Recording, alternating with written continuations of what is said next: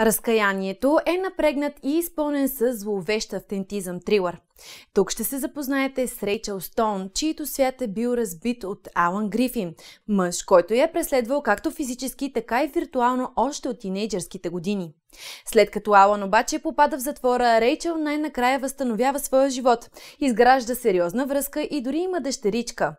И всичко изглежда така сякаш миналото е напълно преодоляно. До денят, в който телефона, мейлите, банковата сметка и профилите на Рейчел в социалните мрежи не са хакнати. Дали това е наскоро пуснатият от затворът Грифин или нещо, за което Рейчел съвсем не е подготвена и не подозира. Разкаянието е напрегнат динамичен психологически трилър, хвърлящ светлина върху слабостите на дигиталния свят, в който живеем и впускащ ни в дебрите на мистериозната и страховита тъмна страна на интернет. internet.